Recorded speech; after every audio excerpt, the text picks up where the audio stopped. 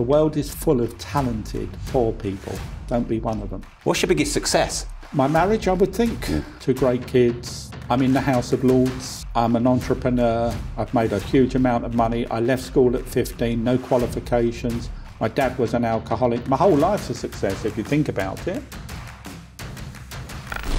Welcome to Disruptors. I'm Rob Moore, and on the show we have billionaire Baron Peter Cruddas. Peter Cruddas is listed by Forbes as a billionaire. He's one of the wealthiest people in Britain. He's also a member of the House of Lords. We go on the whole journey from Peter leaving school at 15, dealing with an alcoholic father, and then buying a 55 million pound mansion cash. So let's get straight in, but first make sure you like the video, subscribe to the channel, and turn the notification bell on. Peter, are banks and money as we know it dying out? Well, first of all, uh, great to meet you, Rob, and you uh, thank you for uh, doing this interview with me. I haven't done many pod- podcasts in my time. I didn't realise that uh, people even wanted to do a podcast. So, uh, thank you for Thanks that. for I've doing got, it. Well, I've got an interesting story to tell. So, I, I think to answer your question, I think the reason you asked a question is the world is changing quite dramatically now. Um, and the way money is moved around the world um, is done differently. Uh, we don't have checkbooks anymore, money's moved electronically. When they bring in blockchain, and I'm not an expert on this, but when blockchain comes in through you know different uh, stock exchanges, banking, and so on, you are going to be able to buy and sell things real time, and money will leave your account real time and go to the other person real time. So more or less, you can do that now with online internet banking. But um, but in the future, if you were to buy shares, you want to buy shares uh, in Facebook or Tesla.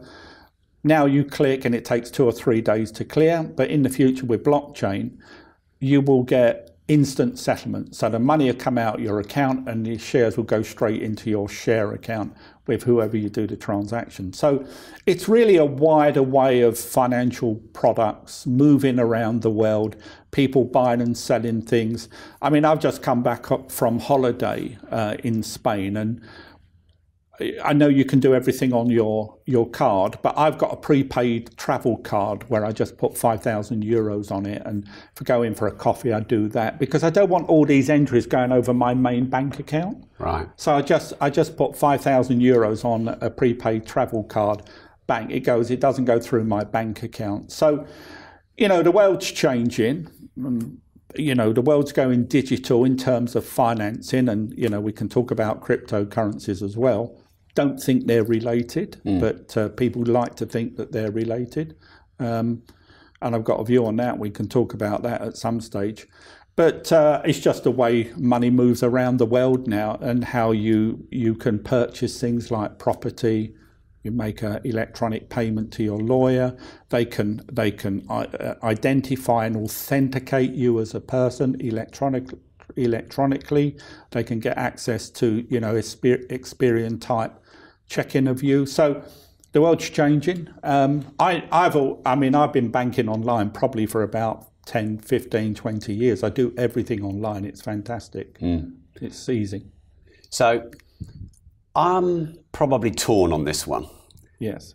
On the one hand, the purchasing process of a property is so out of date Yes. that it takes six months. It's ridiculous. Ridiculous. And that needs disruption. Yes. And that could happen in a day, I Yes. believe. And the Yes. blockchain could help that. So, in that regard, I see the increased speed of money as a major positive. Yes. But then on the other hand, if we go to like a central digital currency, Mm. many banks are closing down. We might be moving away from cash. Yes. And I'm not talking really from a conspiracy theorist point of view, just the evolution of money. Mm. I can see a downside there where maybe if everything is digital and fast, we're also maybe a, could be controlled. What are your thoughts on that paradox? Well, look, the process of buying and selling property is not really getting the money moving around. It's actually all the searches and all the legal stuff that you need to do. Um, reminds me of the NHS, where you have your medical records electronically. I remember a few years ago, the NHS was trying to download everybody's med- medical records. I mean, I don't know if they achieved that in the end, but you know, centralize everything. And it's it's possible nowadays if somebody wants to do it, and maybe their process is going on, where you can have all the information regarding a property electronically stored securely. And then if you want to buy the property, there's there's nothing really to stop you being able to buy the property, um, doing it real time. Reminds me a little. I mean, you, you touched on something there. You talked about a digital currency. Digital. There's two types of probably more than two types, but you know the thing that I think of is there's two digital types of currencies. So you've got cryptos. That's not what I call a digital currency. And then there's talk about creating a central bank backed digital currency. So that would be a currency, no more cash. I think cash is going to disappear. We don't need it anymore. That's great for government uh, because government can see where every penny goes, where it comes from. Great for tracking uh, criminal activity.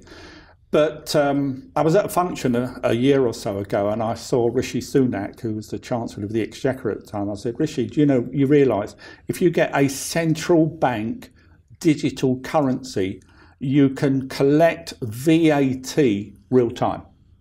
Just imagine going to a restaurant, swiping your card, swiping your phone, paying £100 for a meal. I know you spend a lot more than that on a meal when you go to these five star restaurants and drink Chateau Lafite since you started this podcast. Um, but for the rest of us, you know, we uh, you can go into a restaurant, no matter where you go, and every time VAT is charged, bang, goes through to the government.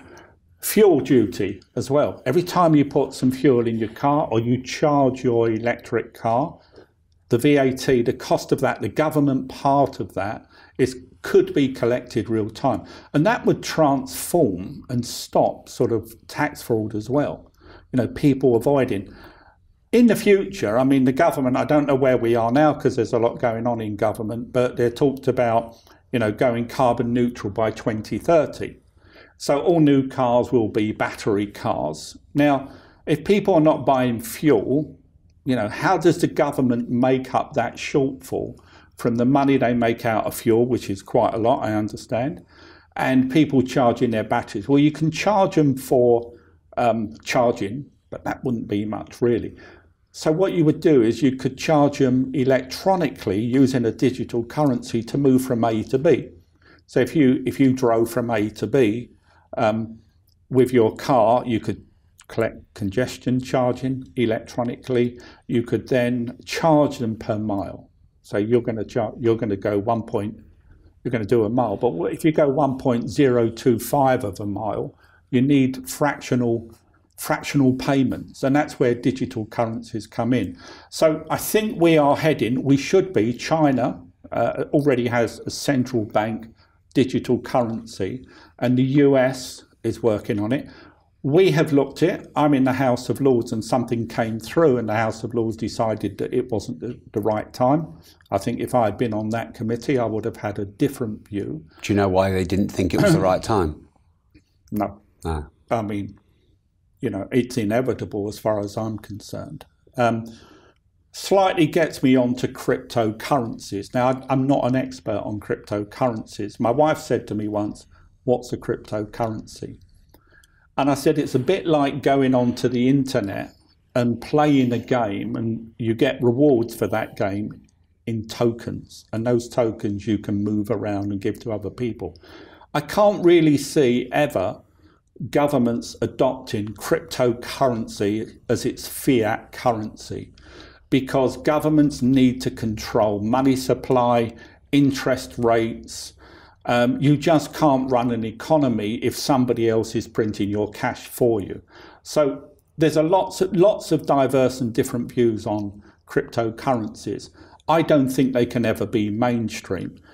You will get suppliers saying you can buy my car and pay me with a cryptocurrency.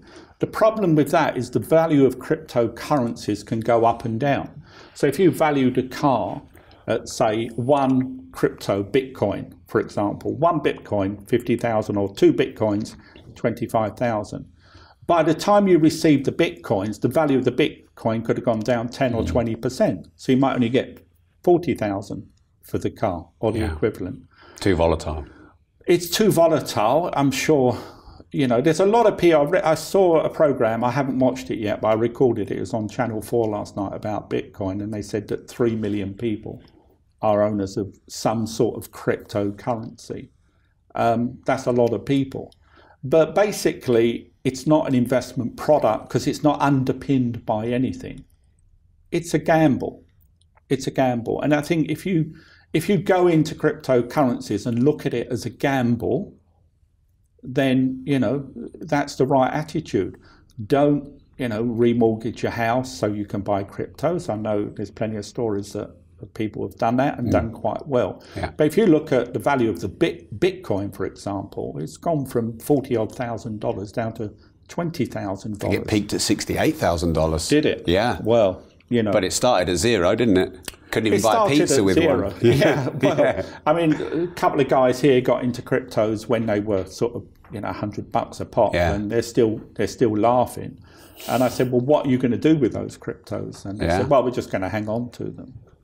Um, maybe they're right. I don't know. Hmm. Um, but this is the new world that we're in now. When I started this company, this company does basically we we allow clients to buy and sell financial products, shares, foreign currencies, and the breakthrough for me was twofold. Really, was I invented online trading. Wow. I had the first platform in Europe to buy and sell online. Wow. Um, I had Stephen Lansdown on the show. You probably Yeah, Hargreaves Yeah. Mm. Lansdown. Yeah, very good company, but they're more on the pensions and investing side. Yeah. We're more on the trading side Yeah. because you know it's um, people tend to sort of separate out their wealth in their own minds uh, in two or three pots. They have their property pot, they'll have their sort of bank account, cash pot, and disposable income, um, and then they'll have their investments and they'll do a little bit of trading as well. So they might, you know, say, right, I'm going to have an account with Hargreaves Lansdown. They're going to look after my pension. I'm going to have 20, 30 years saving with it. But I actually want to trade a bit of Facebook. I want a bit of leverage. I want to do a bit of Tesla. I want to do a bit of Bitcoin. Uh, I want to do a bit of dollar buying, buy some gold, buy some oil. You come to us for that. Right. And I created CMC markets. CMC markets. Yeah. Yeah. Just for the listeners, they might not see the big. Well, Yeah. if they read my book, plug, plug, plug, Passport to Success, it talks all about the history of CMC and how I Right. started. Can you get that on audio as well as paperback? Uh, not yet. Okay. I, I don't know. Yeah. The publish, it's up to the publishers. Yeah. But uh, you sure can get it on Amazon Yeah. anyway. But my breakthrough was two, twofold, really, and explains my journey of how I went from a humble telex operator at Western Union uh, and got the knowledge of understanding how you could connect. This was back in, well, I left school at 15. Uh, I'm not as young as I look, by the way. I was born in 53.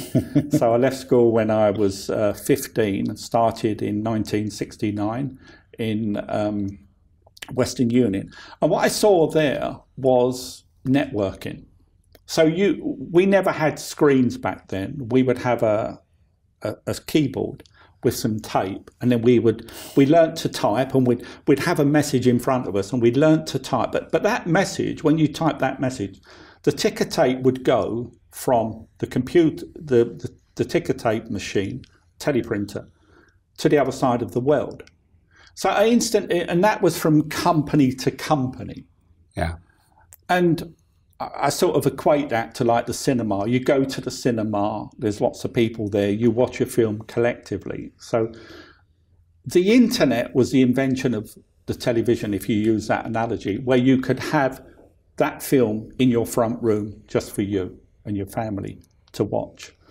So I understood the power of networking, and um, and I knew that the internet would connect people to people and that was back in 94. I think we had the first web page in Britain. Oh, wow. We certainly sent one of the first emails in Britain.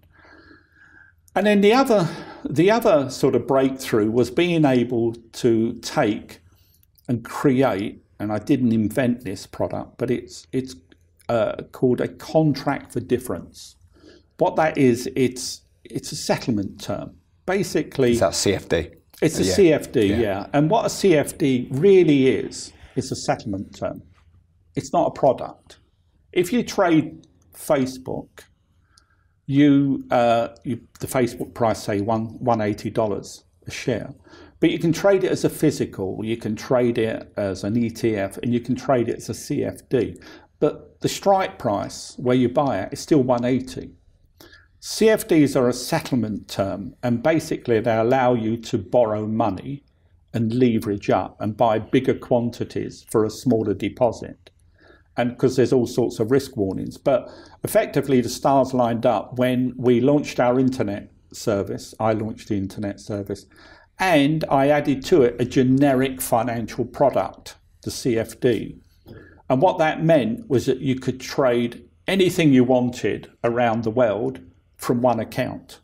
Prior to that, you would have to have a stockbroking account, a bank account if you wanted to do currencies, a futures account if you wanted to do commodities. Now you can trade everything from one account. Um, and that was really the explosion of um, this company. But also from, from individual um, point of view. I mean, I've, I've used this analogy. I'm full of them, by the way. You'll get lots of That's all right. But I, you know, with the invention of the internet, I, I, I would say it's now possible for a taxi driver to pull over to the side of the road, get his mobile phone out, trade ten thousand different financial products, and here's the key: he will get the same price as Goldman Sachs when they're trading. Mm. The internet generic financial products, the transparency around the internet has driven down literally to rock bottom the cost of executing financial trades from around the world. And, um, you know, we've, we've created or we've expanded that industry. So and I've been working at CMC for 33 years. I started it in 89, long before you were born. Uh, no, actually, that's very flattering, but I was born in 79. So. Oh, really? Yeah. Oh, okay. Can't believe that. And, um, but, um, so, you know, um, I've been running the company 33 years. I left school at 15. It's all in the book. Mm. Um, and uh, without any qualifications. Wow. Because um, that was something I wanted to just jump in sure. on. It's a question um, Forbes have you or had you at 1.3 billion net worth. Is that um, dollars or sterling? Dollars. Right. Is okay. that about accurate? I would say so, yeah. Great. And then you are right up there with one of Britain's most, most wealthy business people and entrepreneurs. Was that a goal? You wanted to be super rich and super successful? Or was it just a, a liquid evolution of your career? It's a question I get asked a lot when I was 15, 16, 18, did I want to be rich? Yes, of course I did. Did I want to drive a 1600E Cortina, Ford Cortina, which was the, the, dog's bollocks yeah. back then? Um, yes, I did. I remember that. Yeah, yeah. Uh, but my, my, I mean, the best car I've ever seen was an E-Type Jag. Yeah. But I always wanted to own a white Triumph Stag, and I've never owned one. But back then, they were the business, the mm. white Triumph Stag. But I think the thing is about, um, first of all, I, I've had, in the early days, I had two offers to sell this company. The first one was for a couple of million when we were, you know, one year old. And I thought, blimey, that's a good offer. But I thought, you know, not interested. My dad was an alcoholic. He drank 25 pints of Guinness and a bottle of rum per day. Wow. And, um, How was your relationship with your dad? Not good. He was uh, hitting my mum, and then I laid him out when I was 17, and he wow. never touched her again. Broke his nose, smacked him out. He had to go to hospital, but it was pent up. I'd always done well in the city. I've, al- I've always worked hard. Um, when I started the company, I didn't I didn't do it from the back bedroom. I'd worked up until I was about 35. I'd had good bonuses. I've never done drugs. My dad was an alcoholic. He drank 25 pints of Guinness and a bottle of rum per day. Per day. I was brought up on a Hackney council estate. But what I And discovered. that, that put you off drinking for life then, yeah, did it? seeing I that? mean, I haven't been in, I couldn't tell you the last time I've been in a pub. I have a drink oh, at the Oh, wow. golf club. When my wife and I, we've been married 35 years, she deserves a medal. She's actually got a few, but um, but uh, we've been together 37 years. When we used to go out, when we lived in the country, we live in Mayfair now. We would go out on a Saturday night. It wouldn't even enter our heads who would drive. I would drive. I would sit there and drink half a glass of wine all night. I've got some sort of mental block about going into pubs, and Wow. um, How was your relationship with your dad? not good. No. No. Well, if you read in the book, I mean, he was um, he was uh, hitting my mum, and then I laid him out when I was seventeen, and he never touched her again. Um, broke his nose, smacked him out. He, he passed out. He had to go to hospital, but it was pent up, pent up, you know. And so, you know, I mean, I don't like drinking. My kids even joke, oh, they say, you know, Dad, we're on holiday. You can actually have more than one glass of wine. And I kind of, yeah, it's just a, a mental thing for me. But not And unhappy has that been a about it. Do you Sorry? think has that been a driver for your your success? Um, I suppose. But by the way, I don't mind any of my kids or my wife drink. My kids, my youngest kid is 32. She's a vascular surgeon. First Oh, wow. kids in my family to go to university. Ah. And one's got an MBA from Imperial Business School and a degree from Edinburgh. Wow. And the other one's got a full medics PhD from UCL and is now a, a first year registrar vascular surgeon. So there you go. Um, Look, I think the one thing is that when you when you grow up in a dysfunctional home, it wasn't as bad as it could have been, because my dad was always pissed, so he didn't really know what he was doing half the time. He worked, but you know he would drink over the whole day.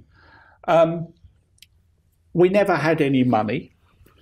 One thing I learned that if I got a bit of money, I could help my mum, and um, that made me feel good because my mum deserved help. She brought up three boys, my two brothers. I got a twin brother and uh, an older brother. And uh, I always have to apologise to them for getting all the good looks and the money in the in the family. But um, you know that's the way the world works. I'm afraid. You know. uh, sorry, guys. I'm only joking. And um, no, I think what happened was that working gave me a structure to my life. I was working at 15. It was actually, someone said to me once, if you'd gone to university, would you be as successful as you are now? And I'd say, if I hadn't been in the Scouts, I wouldn't be as successful as I am now. I think going to university allowed me to think laterally, work things out for myself, not have a structured way of thinking. So it suited me. But I would bend over backwards to send my children to university and give them the opposite education to what what I had. But working success gave me security, gave me a structure to my life, and meant I could help my mum. And I don't just mean, I mean, when you read the book, um, I would work a night shift at Western Union when I was 16. I worked the I worked the night shift on Christmas Day at 16, and I had this special shift. Uh, you would do work at 4 p.m. in the afternoon till 8 a.m. No, 6 6 a.m. And you do Monday, Wednesday, Friday, Tuesday, Thursday over two weeks. A long shift, 14 hour shift. Is that right? Four, eight? Yeah, 14 hours. And then, um, but frequently I'd finish at 6 a.m. and meet my mum and go office cleaning with her because she, we lived just by Old Street. I worked in just off a London wall. Then she would walk, I knew which way she'd walk. I'd meet her and then I'd do hoovering for her in the offices and then get home about nine o'clock. So it was helping her and also giving her money. I used to give all of my weekly wage to her at the end of the week. I wanted to help her. She's, you know, she took good care of me and my brothers, and uh, she didn't have a very good life.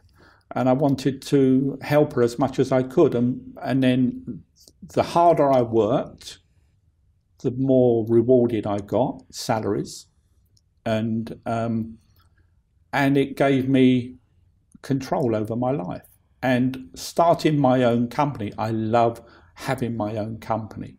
It's almost like you, you can put, you can make comparisons like going into a pub is a bit of a men- mental block, and selling my company is a bit of a mental block. What was the second offer you got? How much and when? Fifty million pounds. And when was that? That was probably back about, um, so I think it was about 97, 98. It was from a, a bank in the city. Right. I'll tell you the story. I'm Yeah, glad you reminded me. um, so um, we had this beautiful country house. By then, the company was five, six, seven years old. We'd invented, I'd invented the internet. We had a platform. Banks wanted to get into it. And um, so that day, I had a meeting with a bank that we had a relationship with. I won't, I won't tell you their name. Um, I'll tell you when we're off camera. Right. But, uh, but it's not one of the big, big mega banks. you Yeah. know. And um, what happened was that my wife said, "Oh, what are you doing today?" I said, well, "I'm going up to London. I got, I got lunch with these people. You know. Oh, okay. What they want? I said, "I don't know. You know, just a, a business lunch. Really. I want to see how." Anyway, by the end of the lunch, they said, "Peter, we want to buy your company." And I said, "Oh, oh, okay. How much you want for it?" Uh, they said, "How much, you know, is it worth?" I said, "Well, we make five million pound a year. Last year we made a hundred. Two years ago we made two hundred million. And they said, "Well, okay, fifty million quid. We'll offer you fifty million quid for your company." Wasn't quite as blasé and relaxed as that, but they said, "If every state Was it all cash down? It wasn't options and all that stuff? never got that far, but it would have been a chunk of uh, 30, 40 million pounds. So, and then the balance and, an earn out. So I said, well, I'll think about it, but the answer's no. So I went home that night, and my wife said, uh, "How are you talking?" She said, "How was your meeting today? Or what was that lunch like?" You know, because I didn't. I said, "I just want a sandwich. I've had lunch." And oh yeah, how was the how was the uh, meeting? And I said, "Oh yeah." I said, you know, they offered 50 million pounds for the company. She said, Oh, that's great, fantastic. I said, No, don't get excited. I said, No.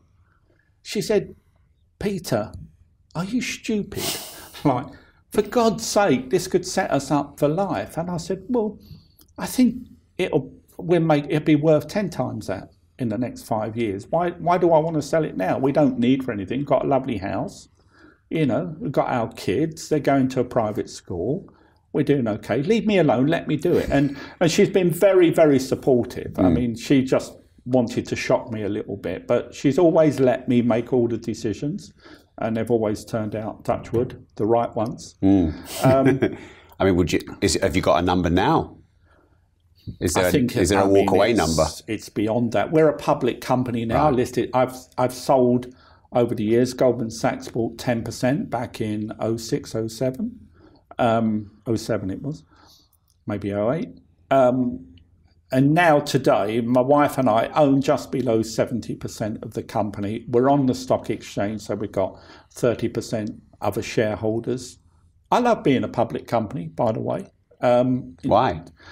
27 years private company, and I just felt it was the right thing to do. Um, and what happened was, um, so I sold 30%, and uh, that was fine. We got money for that, but I mean, I don't do stuff. I don't think I answered your question. Why That's all right. I, I'll keep it there. yeah, keep it there. You know, um, but it opens more doors for you.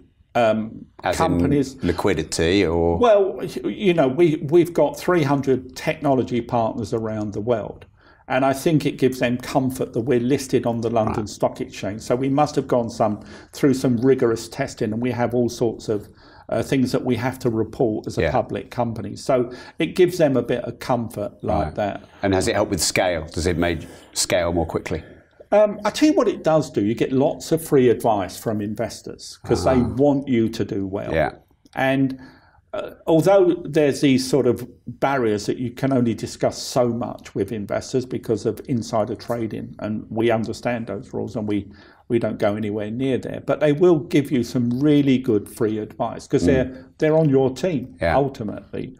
And we're lucky because we've got three or four cornerstone investors that have been with us for a long, long time. And uh, they're there for the long run. So long as I'm in, Yeah. they're in type of thing. So, um, and of course, being a public company, you have to do lots of reporting. But I just let others do that. Yeah. You know, I just take the credit. I mean, I think I've earned it after 30 odd years. Yeah. You know. And seventy percent was that to retain control? Yeah. Yeah. Yeah. I mean, it, you know, could have been 51%, but um, I, Isn't seventy percent another level of control though? Not uh, technically, no. Okay. But what it, the, the logic behind it was, um, what's the minimum amount I have to sell? And they said twenty five percent. Right. And then I, I I only owned well I owned ninety percent then. Goldman Sachs owned ten percent. So I said right, I'll sell I'll sell twenty five percent. I don't want to sell anymore. Yeah. And you know the company's valuation fluctuates quite a lot. I don't quite know why. It's one of my sort of bugbears that I think we we are undervalued as a company because we have spent hundred million pounds plus on technology. Our technology is superb, but we don't get any credit for that. People just see us as a, a market making trading company that manages risk, when in fact, you know, 20% of our business is non-risk and 300 technology partnerships around the world. It's very, it's a bit frustrating to get investors to try and understand what you're doing. But no, I just sold 25%, and after all the greenshoe where they, they have to balance all the share buying and we ended up with about 63%. And then we've been doing a share buyback uh, because now you don't need 25% of your company to be on the stock exchange. They changed the rule, it's only 10% now. All right. So, um, So are you in this for life, in this company, and being a businessman for life? You're not going to retire. You're not going to sell it all out. I mean, you already got a yacht, haven't you? But you know, you're not going to buy. well, first of all, I haven't got a yacht. I've never owned a yacht. Oh, that I mean, I've owned it. Yeah, I know. The research says. Yeah, have. I know. Yeah, but you don't want to believe everything you read in No, the but papers. that's why I asked yeah. you about the net worth. yeah, Yeah. you're right. Yeah. Um, so no, I ha- I've never owned a yacht. Um, look, the, the thing is, is that uh, you know I'm 69 in a month's time. I'll be 70 next year.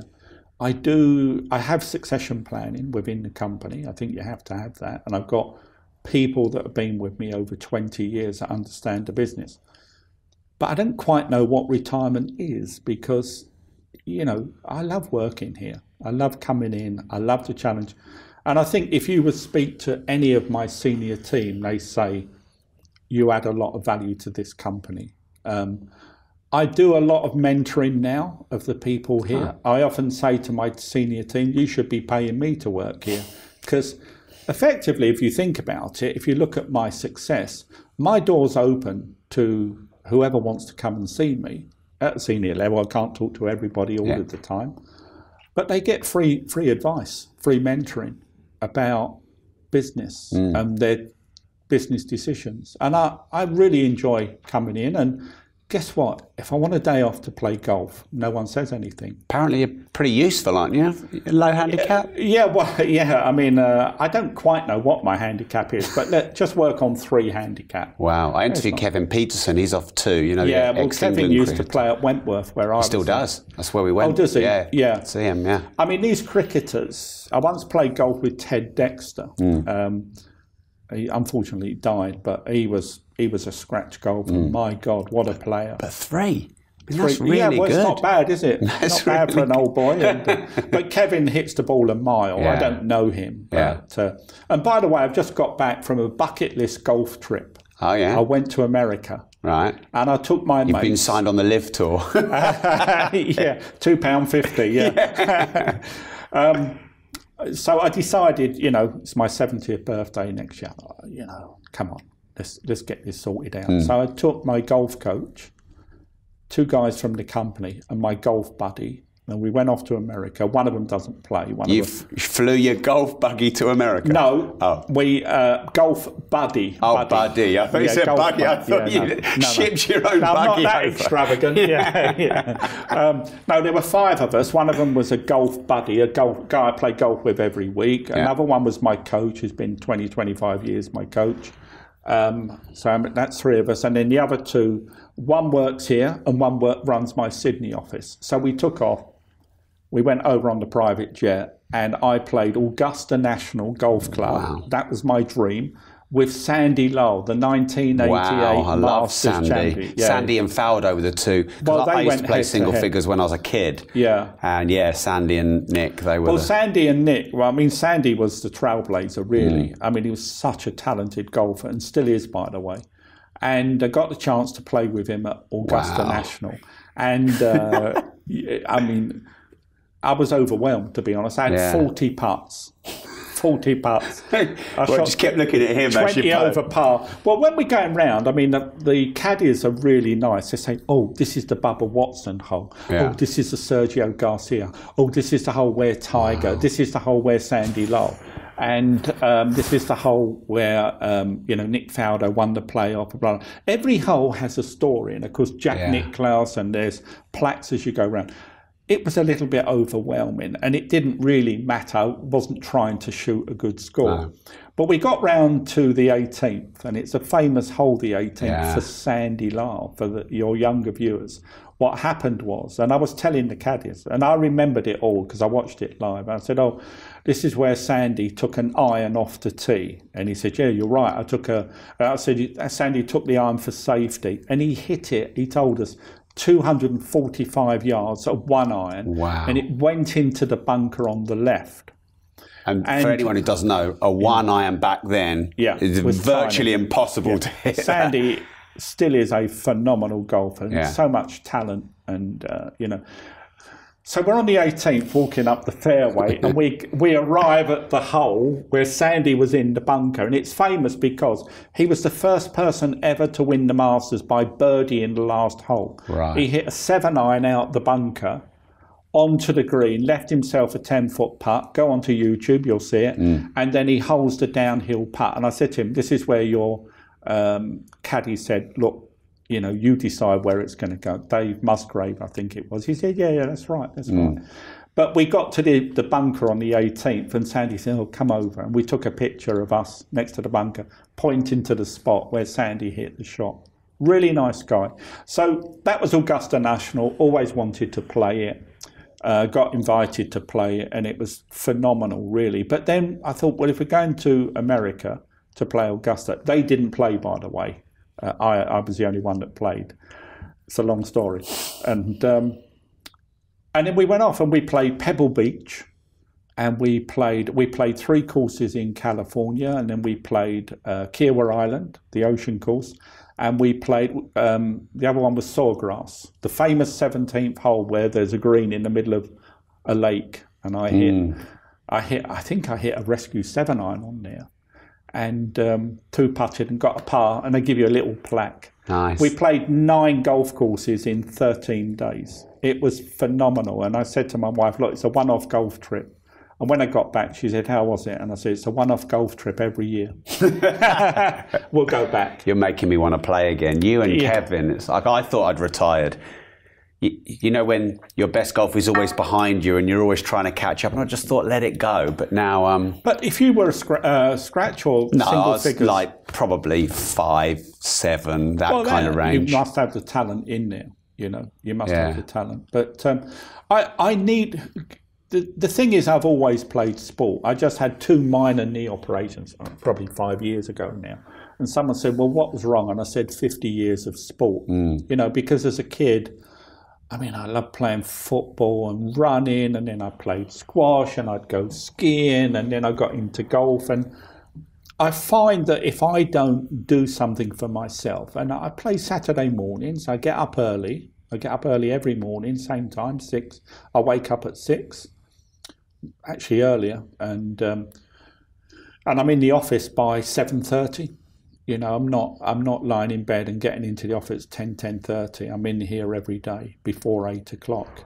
Um, but I find that you know, going out and playing golf, I need that time for myself. I recharge. I play golf in the mornings on a Saturday, and I take my wife out every Saturday night. We go out, bloody nuisance at times because I'm tired, but we go out every Saturday night, and Yeah. you know, we go out for Sunday lunch, or um, or we'll go, you know, sometimes in the week, but Yeah. I tend not to go out in the week. Now I'm in the House of Lords. Sometimes I'm in Mm. the House of Lords. I could come in here at get in here about quarter past, half past seven. I may be in the house. I, I leave here at say three o'clock, sometimes two o'clock, sometimes four o'clock. I can be in the House of Lords till midnight, but it's very sort of sporadic. I could, you know, mm. for now it's it's closed. There's a, a Parliament recess. Um, it'll open for a couple of weeks in September, then close for conference season, and then there'll be a run up of government le- legislation coming through.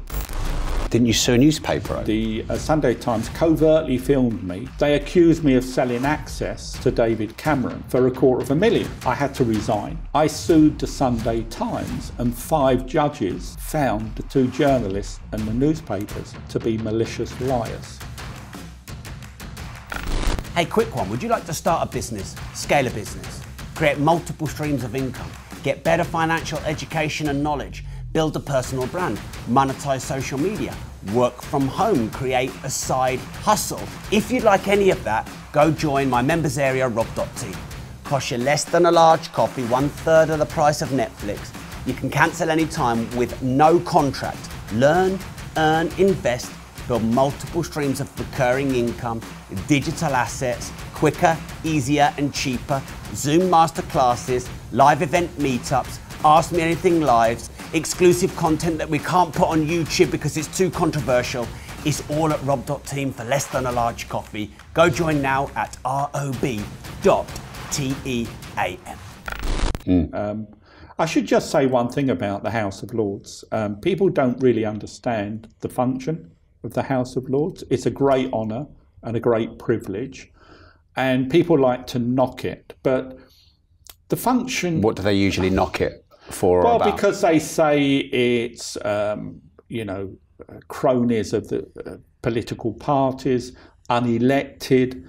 But the the thing about the House of Lords, I'll give you a story. So I was, I, I'm what the the House of Lords function is to check, like a compliance department, any laws that come from government. Okay, all laws basically are made in the House of Commons by elected politicians that have a manifesto and they get elected by ordinary people that vote and they, they put the government in and then Boris Prime Minister and so on. And his job is to deliver on the promises of the manifesto.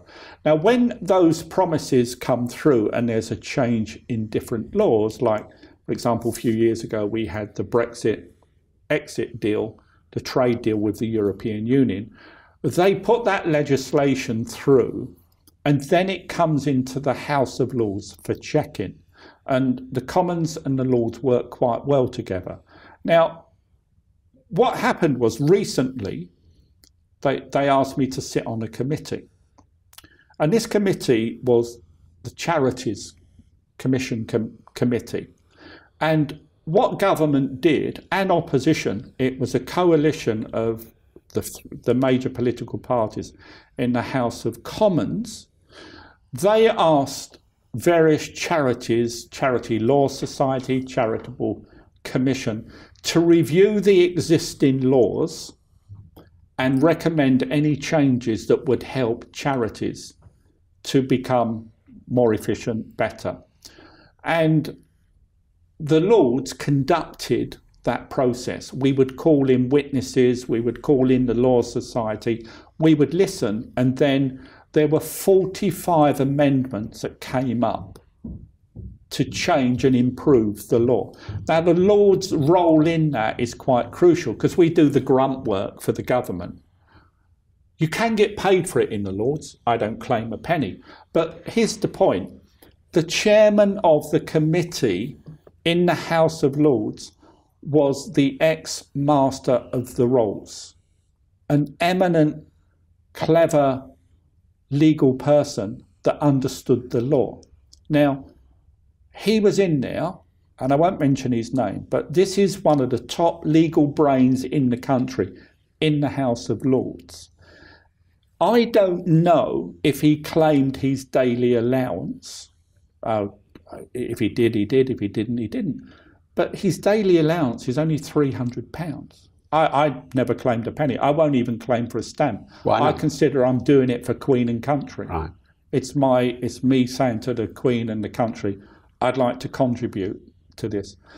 he oversaw all of that. He managed it. He was the chairman. He guided us all through it. We all had our input.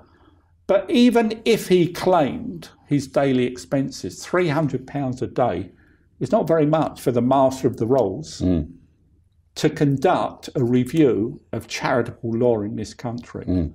So I'd just like to stand up for the House of Lords in that sense that there's an awful lot of good people in there mm.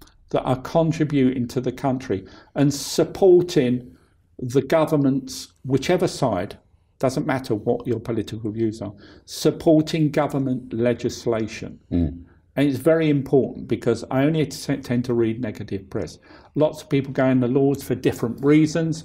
People like to say, oh, he's a big Tory donor, he gave money. But let me tell you the real reason I'm in the House of Lords. I co founded an organisation called Vote Leave. Remember that? Remember that group? Mm. The ones that won the EU referendum. I co founded and, and put money in to keep that organisation afloat, and it's all in the book. Mm. Now, whether you're a Brexiteer or whether you're a Remainer is not the issue. My side of the argument was I think we should leave the European Union, and you can hate me or love me for that. But well, we've had politics. Nigel Farage on the show twice, so yeah. Well, Nigel, yeah, you know, he did a lot for the Brexit cause. Mm. He wasn't connected to Vote Leave. He had his own separate organisation. The reason I'm in the House of Lords is that as a Brexiteer, the country voted the biggest democratic vote in the history of this country 30 odd million votes. We won by about 1.6 million votes the biggest democratic process ever witnessed. Vote Leave got 17.4 million votes. Uh, Remain got 16. Maggie Thatcher, Tony Blair, Boris Johnson at their peak never got 17 million votes. So do people. So if you think of the logic, if you look at the House of Lords, it's primarily made up of Remainers people that want to keep us in the House of Lords. I was put in the House of Lords by Boris Johnson, along with about 10, 10 other Brexiteers. Now, that's representative of the electorate. It's more representative of the electorate than having the House of Lords, which is about 75% remain supporting. Right. So I've been donating to the Conservative Party for 12 years. No one ever put me in the House of Lords for being a donor, even though my pockets are deep, and I never asked for it. Mm. But being a Brexiteer, didn't you didn't you sue a newspaper over that?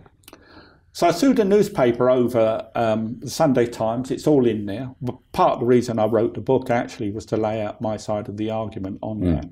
But basically, the uh, Sunday Times covertly filmed me they came in and said that they were donors. They came through the Conservative Party. I was the treasurer and on the board, and they said, um, we want to donate. So I said, okay, yeah, this is what you do. And they said, we want to be a big donor. What's a big donor? I said, well, a quarter of a million, you know. It's all on whatever you donate is public knowledge. That's the law, nothing to do with me. They accused me of selling access to David Cameron right. for a quarter of a million. I mean, they were if you look at the backdrop about Leveson and so on. So they, they accused me of selling access to David Cameron, which was nonsense because, first of all, if you want access to David Cameron, it's on the website and it's in a brochure. Join the leaders group for 50,000 a year and you can meet David Cameron. So don't quite know that. But to cut a long story short, short um, I had to resign. Uh, I call it constructive dismissal, but there's no hard feelings. What's in the past is in the past. I sued the Sunday Times, and five judges in three different courts found the two journalists and the newspapers to be malicious liars. There were two or three uh, claims in there, you know, libel and uh, malicious falsehoods, which I won. The last point was that they said um, the Court of Appeal they appealed they said that um, that I was selling uh, tickets to the Conservative Party event, and it was inappropriate, unacceptable, and wrong. These are the Court of Appeal judges. That parties should raise money in that way. So the Court of Appeal and the defence moved the argument away from what was actually said into a wider context that oh, it's completely wrong that the Prime Minister should meet donors if they buy a ticket for the black and white party or they for the Christmas party. But that's not what the article was about. The article, so they managed to shift the argument. And if you read the process, there's all sorts of dark arts going on. Mm. So effectively, what what the Court of Appeal was saying, I lost part of the case, but not the malicious falsehoods and the criminality and stuff like that. I won that. Mm. Uh, but what the Court of Appeal moved and their their team moved. Oh well, actually, it's not what Cruddas actually said. It's actually the concept but all political parties raise money through social events. Mm. Anyway, if there's a moral to all of this, is that probably best not get involved with politics. well, I wanted to ask to what you know. I wanted to ask about that because sort of maybe two questions in one. Do the government have enough very successful business people and entrepreneurs advising them? Yes. And um, can you balance having a political mm-hmm. career and being a successful business person? maybe they could be in two questions in one. Um, so, yes and no is the answer, really. Can you balance a political career and a business career in politics? Yes, I think you can. Does the government have enough smart business people advising them? Uh, probably, probably. The real issue here is the grief you get once you get involved with politics. The press here are so vicious. Yeah. So, but the real issue here is, you know, is there enough talent that wants to go into politics? Yes, there is. Are there enough business people involved? Probably. But you, once you put your head above the parapet, you seem to be fair game for vicious press. The press nowadays, I think, is completely out of hand. They've become like um, um, they're not impartial anymore. It's very hard to find true stories, true news. There's a lot of suppression of things that can be negative towards one political party. Um, and there's no balance there. And if you're on the receiving end of that, you just imagine, um, you know, I mean, just imagine the grief that Boris Johnson has had as Prime Minister. Um, and you'll get a load of people mm. shouting at this saying, well, he deserves it. He well, deserves what do you think of his tenure? Well, I think it's it's been very good. I mean, if you think of what he inherited, first of all, government was blocked. No legislation was getting through. Mrs May had some of the biggest defeats ever You've got you've got Remainers, you've got Brexiteers fighting it out, and we were in gridlock. Nothing was moving. That's the first thing. Boris came along and has got Brexit delivered. That's delivering on the mandate from the electorate. Whether you're a Remain or not, it's not the point, you know. Secondly, we had the pandemic. Boris went out and bought vaccines before they were approved. I mean, that, if you want entrepreneurialism in government, there's a very good example there. He went out and bought AstraZeneca, bought 100 million quid's worth, and said, they're mine, even though they've not been approved. Then they got approved. That was smart. And delivered the furlough scheme and, you know, kept people's jobs alive. I mean, you've got to say fair enough. And at the end of the day, if you don't agree with any of that, there's one thing you can't argue with. Boris got the biggest majority since Maggie Thatcher 43% of the popular vote and he won an 80 seat majority. He got a mandate from the British people. And whatever your politics are, you have to respect democracy. And I'm a conservative, I'm a Brexiteer, so I lean towards Boris. But the reality is, at the end of the day, this is about democracy. And Boris, I think, has been bullied out of office and it's unacceptable. I don't like bullies. Nobody likes bullies. But he's been ganged up on, he's been plotted against. And we should not accept that.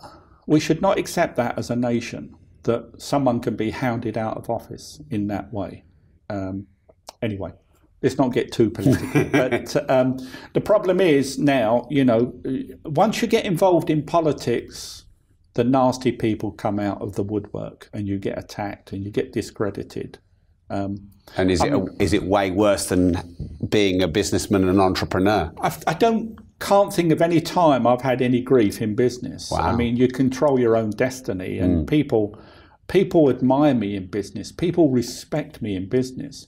People respect me in politics, but not on the other political divide, on the other side of my politics. Mm. If you're a Remainer and a socialist, you're going to hate me, basically, mm. regardless of not even knowing me, you'll just attack me. I mean, I'm involved with a campaign uh, on Twitter at the moment to, you know, put Boris on the ballot. Let the membership decide who the leader of the party should be. Effectively, you had 40, 50 people in Parliament, MPs, that forced Boris to resign when you've got 100,000 members that voted for Boris to be the leader and they've been disenfranchised from the process. Mm. It's not about Boris, it's about the process. And, um, you know, if Boris said, look, I don't want to be Prime Minister anymore, I want to step down, I would still continue the campaign because you can't have people hounded out of office. And I hate disloyalty and I hate bullying. And Boris has been bullied by these people, and that's completely unacceptable. And it's a, it's a disgrace for the Conservative Party. But that'll cause a lefty attack, you know. well, thanks for speaking so openly about it. Well, you know, it's good to see you, and uh, I enjoyed it actually. You're a very good interviewer because you got me relaxed. quite busy at the moment. You know. Thank you. Does money make you happy? Definitely. I like my life. I have a private jet. I mean, I like nice food, I like going nice places, I like living in nice homes. Yeah, it does make you happy. But ultimately, you're happier if you've got a good marriage. I've been married 35 years. Yeah. Should we do the quick fire round then? Go on then, go um, for the quick fire. So the way we do the quick fire is maybe about 15 seconds per okay. answer. And right. they're, they're supposed to be a bit more light-hearted, but you can obviously answer them how okay. you want. Yeah. Um, what do you know about making money that many people don't? Oof, don't know. I've never really thought about that. I, I would say that what you should do if you start your own company, always put the company first. Um, don't you, you, know it's better to keep investing. You have to keep investing in your business. You get to certain levels, and then you have to keep pushing on, pushing on. So I say keep investing in your company, and uh, do always do what's right for the company, not for yourself can always take money out of a company, but it's, you've got to keep investing. Does money make you happy? Definitely, yeah. I mean, uh, oh yeah. I mean, I've just had my golf trip to Augusta National, and uh, I like, I like, I like, you know, my life. I don't have yachts. I have a private jet, but it's a NetJets thing. It's not an individual thing. Um, and um, so uh, yeah, I mean, I like nice food. I like going nice places. I like living in nice homes. Yeah, it does make you happy, but ultimately, you're happier if you've got a good marriage. I've been married 35 years. Been with my wife 37 years. We've developed together. The business has grown whilst we've been married. We've got two lovely kids and one granddaughter. So uh, yeah, and uh, so we can have a good life. but one other thing I should say is that I'm a UK resident, domiciled here. I'm PAYE. I like paying taxes. I should have said that. Funnily enough, I don't know why, but I like paying taxes. Even when they're as high as they are now? Yeah, because the numbers in this country uh, are distorted. Look, we, we have to stop and think a little bit. So, first of all, this is a great country every country's got its problems okay? It's a great country. It's got great internet access. It's got a great legal system. It's got a great policing system. The numbers here are off the scale. If i'd started my company in a small mediterranean island the same technology same concept i wouldn't be making as much money as i am now. So the numbers are off the scale. The infrastructure that we have, we have stable government as well, I should have added. The infrastructure that we have in this country means that all the numbers are bigger. and I feel successful when I pay taxes. I just sent the taxman six million quid. When I IPO'd my company, we sent them 50 million quid. In fact, I was at a dinner with um, Hammond, Hammond, Philip Hammond, and I said, I'm just about to send you a check, my wife and I, for 50 million quid. Please make sure you spend it wisely. Um, it, I feel like, yeah, I mean, I, I don't have any. Uh, I lived in Monaco. It explains it in the book. People mm. say, oh, but you lived in Monaco, didn't pay tax. Big mistake. I, I reduced my tax, but it was a false economy. And I didn't live in Monaco. False economy in what way? The business suffered. Oh, because you were commuting, weren't you? Well, they say I was commuting. Oh. I did used to come every other week, but yeah. I was working from home, emails and stuff. But you lose touch, you lose the day to day. It's all in the book. Yeah. Um, but it was I was I was a tax exile from France. We, we wanted to live in Cannes. My wife was born in Paris. She's British uh, but used to go there as a kid, and that's where we wanted to live. We wanted our kids to go to the international school, learn a language, which they did, and um, but effectively we only lived in Monaco because you know living in Cannes was even more expensive. But it was a false economy. But you know, since that period, I mean, I come back and I'm PAYE, um, and I pay millions in tax, mm. and quite doesn't matter as far as I'm concerned. You know why? Because I can sleep of a night. I'm not worried about a knock at the door. I never invest in any of these dodgy schemes like, you know, um, EBTs and stuff like that, um, or some sort of, you know, wind farm, get your tax breaks and stuff. I don't go anywhere near them.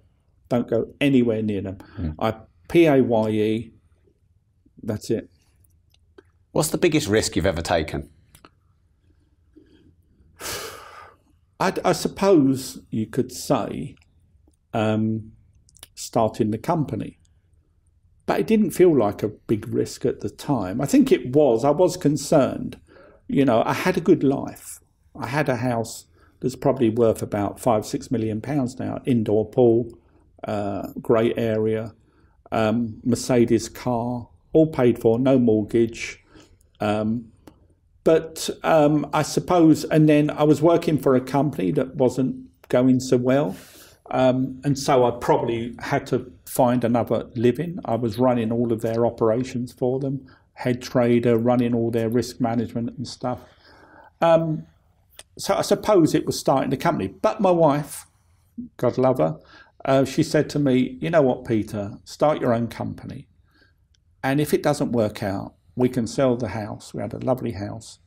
We can go and move out to Suffolk, somewhere like that, get something, you know, and then we'll have a bit of cash and the kids will go to the local schools. So it's not really that big a risk. I'd already, I was already at a good level. Mm. Not, I, I still needed to earn income, but I had savings, had no mortgage, had a beautiful house. So starting the company was a risk in a way, and it did feel a bit nervy in the beginning, but I like a challenge. what about your biggest failure? Ah, um, biggest failure. Don't know. I hope that I've had my biggest failure. I hope there's not one to come to come up in the future. I don't know. I I'm not. I'm not a negative person. I don't think about the bad times. I only think of the good times. Mm. I'm a I'm a guy that's a, a three quarter glass full. You know. Um, people, I think also when you're in a position like there've been so many challenges and obstacles, and it, you know, I, I think one of the biggest risks was when uh, I started um, the internet. I got, it's in the book. Keep saying that. We're going to give it a big, big yeah, push at the thank end. Thank you very much. so there was a knock at my door. I was. We were working in Old Jewry, just by the city. About thirty people in the company back then, back in 94, 95, this was early 96, there was a knock at my door. I was in my room. I had a, a place on the dealing desk and a place, my own office, where I could do some letters and stuff. And in walks two of my directors. Well, there's only three of us. One was company secretary, and, um, and one was the accountant. And they said, Peter, look, this internet stuff, you've just spent a whole year's profit on it. We were making about £700,000 a year. They said, You spent all this money on the internet and it hasn't worked. Cut your losses. Are they still in the company? No. um, cut your losses. Cut your losses. Now's the time. And I said, no, it's going to work.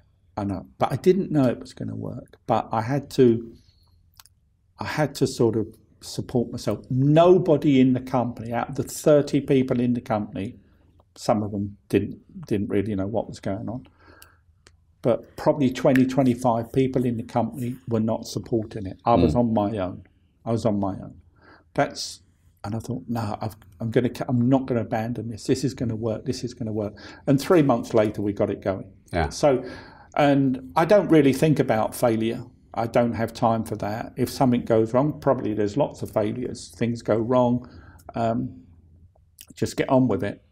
Get on with it and stop complaining and keep pushing forward. Um, because, you know, um, the world is full of talented, poor people. Don't be one of them. It's a nice little soundbite there, Harry. Harry's What's your biggest success?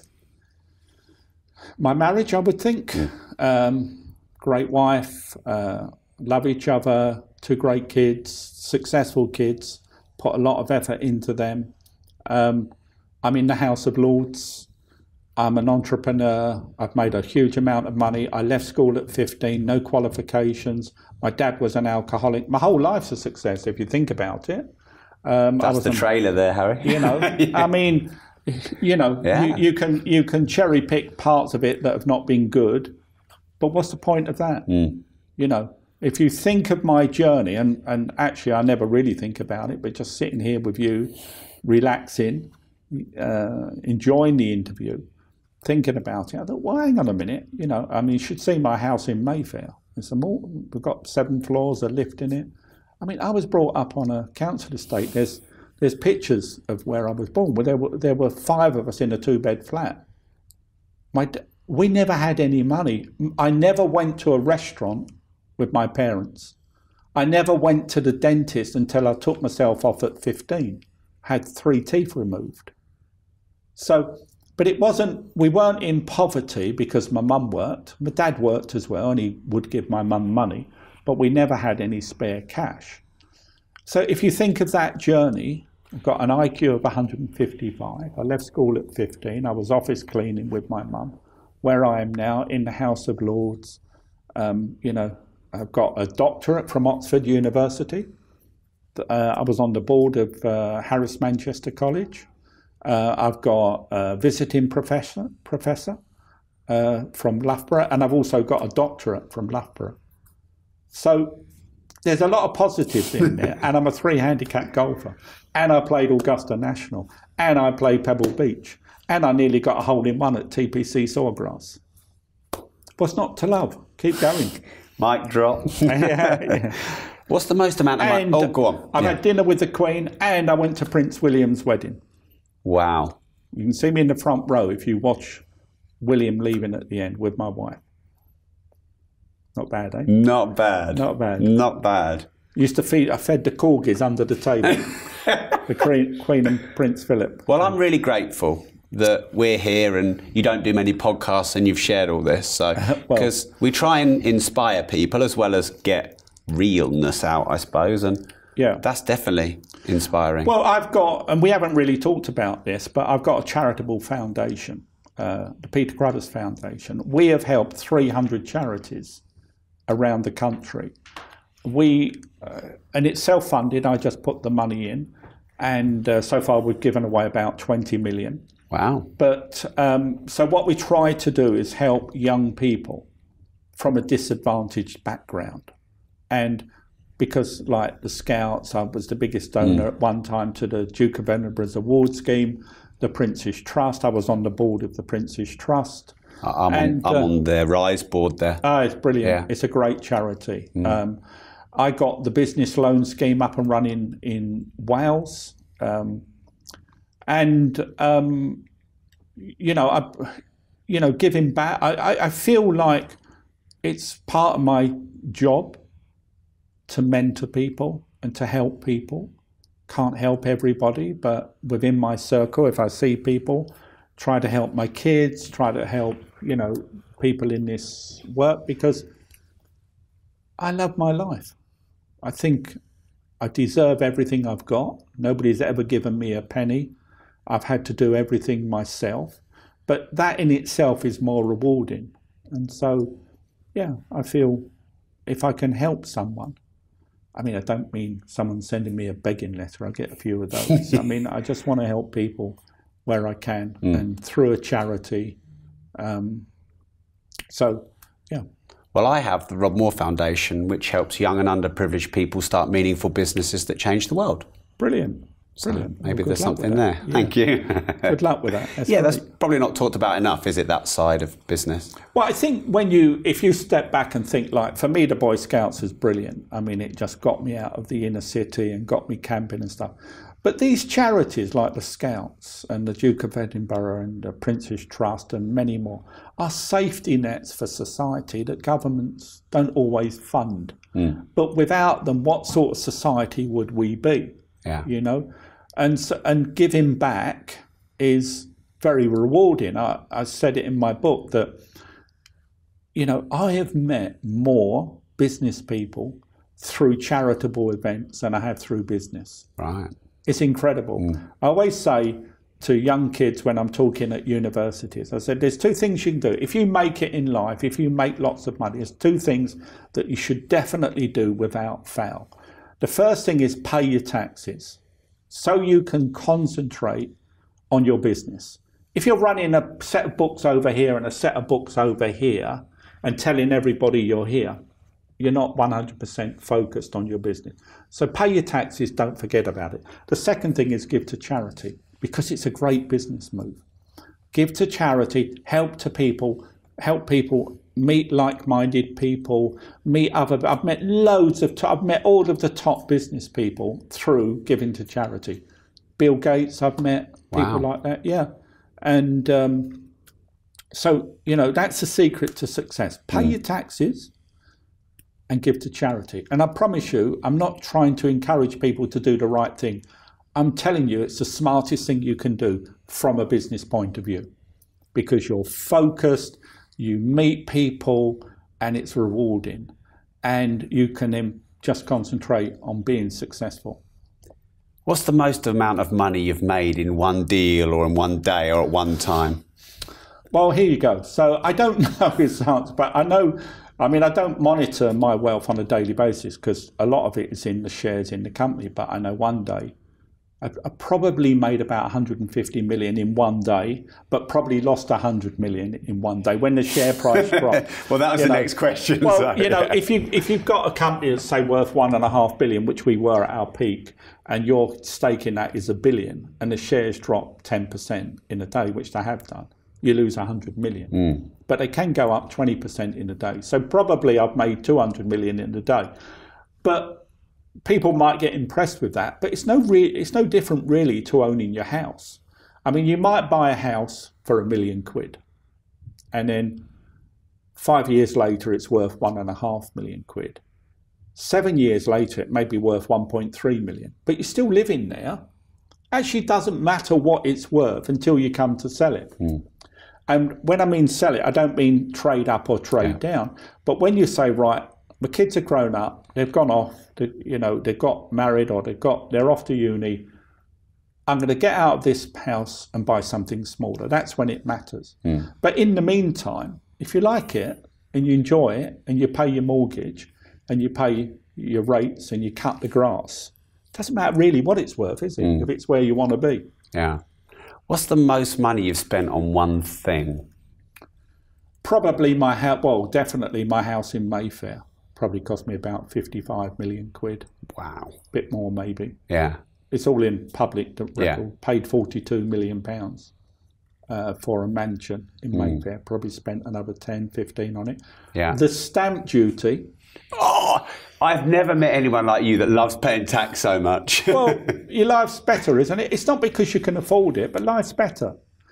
the stamp Went to the accountant, said, they said, right, uh, I said, we're going to buy a house. They said, okay, yeah. Whose name's it going to be in? I said, my wife and I. Okay, that's good, they said, because then there's no shenanigans.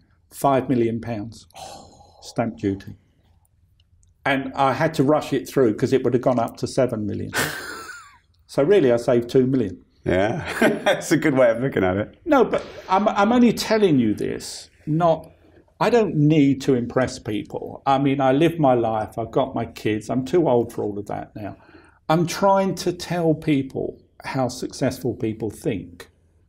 Because if you ever get into that position, then you can become a better business person if you think like a successful person. Mm. And that's the point of me telling you this stuff. It's not to say, oh, I spent five million quid on this. You know, I can go out tomorrow and buy whatever I want. Yeah. But I don't, mm. you know, because I'm happy. I'm happy with my life and I'm happy with the company and so on. But if you ever get to that level, then just pay your taxes, mm. give to charity. I promise you, you will become more successful, more successful as a business person and an individual than not doing that stuff. Right. We're going to finish on a two in one question and then we're going to talk about your book. Okay. Best advice and worst advice you ever received that you can remember? One of each. Um, oh, well, I can remember uh, the worst advice I've ever received, and fortunately, I never took it up. They said, become a Lloyd's underwriter. this was back in the 80s. Someone I knew, oh, well, you know, oh, what you do is you commit all of this. I said, well, why, why are they going to send me a check every year? Oh, well, because you have to commit a certain sum. I said, well, how much? And he said, all of your wealth. I said, bugger that, I'm not doing that. so that was the worst advice, but I didn't take it. The best advice? I can't, don't know. I mean, uh, take a three wood and not the one wood. uh, play it a bit safer. yeah, a bit safe, yeah. No, uh, I mean, I don't know. Good advice? I don't know. I don't know. Just, just this, my life is so full every day. There's a thousand decisions. I just keep making them. Sometimes they're good, sometimes they're bad, but you just keep moving forward. And your book. The book. What's it called? It's called- I'm excited to read this. From Milkman to Mayfair, Love it. Passport to Success. Um, my first job was a milkman, and now I've ended up in Mayfair.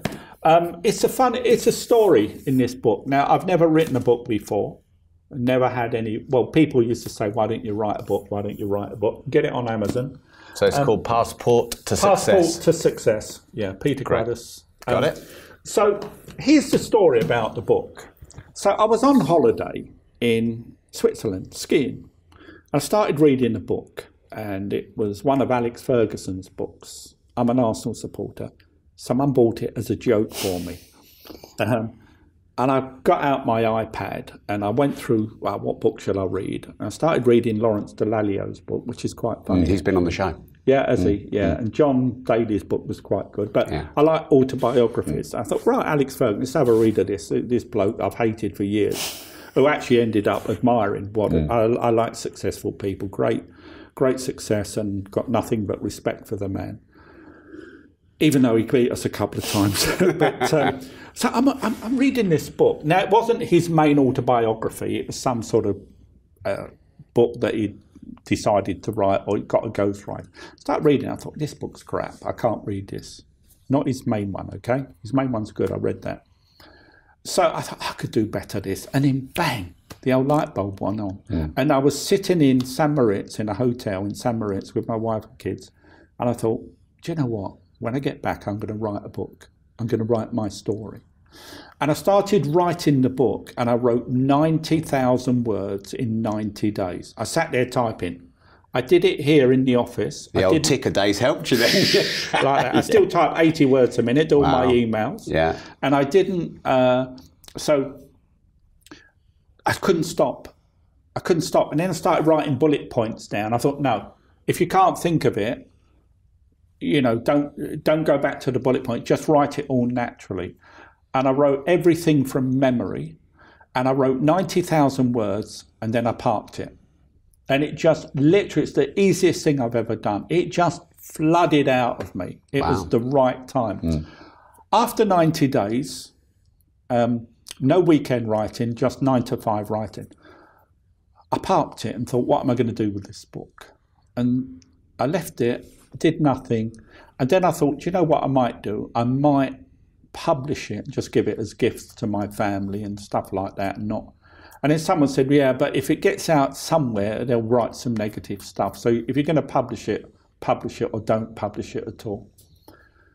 Then I got word that was on the list for the House of Lords.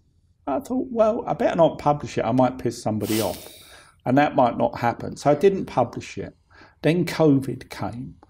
Then I got in the House of Lords and I'm still sitting on the draft. And then there's all this negativity about me going into the House of Lords. I've never had so much negativity since I've got into politics. And I thought, this is bang out of order because there's this committee that sits to decide whether you get accepted or not into the House of Lords. Now, bear in mind, I won my court cases. The police and the Electoral Commission said I did nothing wrong. My tax records are all up to up to date. There was no reason why I shouldn't be accepted into the House of Lords. And, um, and Boris Johnson overrode the commission. First time in 20 years since the commission or the committee has been formed. He said, Cruddas has done nothing wrong. His record's clean. You've got no reason to stop this. And he put a letter in the public domain. It's in the book. And then I thought, you know what? Once I got in the Lords, I thought, I've had enough of this shit. I'm going to start fighting back. Fuck it. That's it. And I then wrote another 20 odd thousand words. And I laid it all out there about the court case and the appeal and the dark arts and the, the underhanded things that happened to me, the way I was treated by uh, David Cameron, who I call Waldorf in the book, and Andrew Feldman, who was the uh, chairman. Waldorf and Statler. You won't know who they are. No, From the Muppet Show. They're those two old guys, Waldorf Yes. and Statler, that are up in the wings, oblivious to what's going on down below, but pontificating about the show. We're not really paying attention, you know? Yeah. And so I called them Waldorf and Statler. and, uh, and then about the journey, about how Brexit and stuff. And there's a lot of chapters in there about the court case, but I thought I have to get my side of the story out. And so once I got in the Lords and I still got criticism, I published the book. And I'm glad I did. It's one of the best things I've ever done. And I'm thinking about a second one now. Ah. But I wrote it all myself, and the publisher said, I said, oh, well, we want copyright over it. I said, look, you know, we want control over what we publish because we're the publishers. And I said, "Do you know what? I tell you what, you can have that control on one condition that if I don't like what you've done, I can walk away and I'll pay your fees and expenses. And they said, fair enough. They literally took out of it, it's probably about 118,000 words, they took out of it a couple of percent of what everything in there is what I've written. They, they cut out repetition. They moved one chapter forward and put the other one. That's all they did. Everything in there is my own words, apart from the quotes. And um, it was a great experience, and I'm proud of it. And I'm proud of my life, what I've achieved. But you know what? The best is yet to come. So it's Passport to Success. Peter Yep. If you're listening and watching, go get that book. This podcast is called Disruptors. It used to be Disruptive Entrepreneur back in the day, but we've evolved to interview different types of people, not just entrepreneurs. What does that word disruptive mean to you? It's the last question. Um, so it's a good it's a good question actually, and I often use that term in this company. Um, but I think the point is like I mean you can break that down into many things. You can say what's disruption. You can say well I'm going to un- undercut a competitor. I'm going to disrupt their market, and all of that applies. The biggest disruption you can do is to yourself to the company. You disrupt yourselves. Why, as a company, if you've got a successful company and you're doing well, why wait for others to come along and disrupt you? Disrupt yourself. That's what we do. We challenge ourselves in here. We look at our pricing. We're, we're about to launch a big new investment platform. Um, some would say it would rival Hargreaves Lansdown, but they're a big company. They've been going 20 odd years but we're gonna we're gonna disrupt ourselves around pricing, and we're gonna we're gonna keep pushing the barriers much higher for people to come in and disrupt us. So be on the front foot with disrupting. Don't wait for others to disrupt you and your business model. Make sure you cannot be disrupted. And then when you've done that, disrupt yourself. We're always challenging. I'll come in and I'll say, yeah, that's great, but you know, you need to invest more money in technology. And you can you can disrupt yourself not just by pricing, you can disrupt yourself by improving technology. So you, you get a new piece of technology, it's fantastic. And then uh, the question, next question is, well, what are we going to do to improve it? Just keep drilling down on it, drilling down on it, and it makes it harder for people to disrupt you. And be honest about it. Be honest about your business model.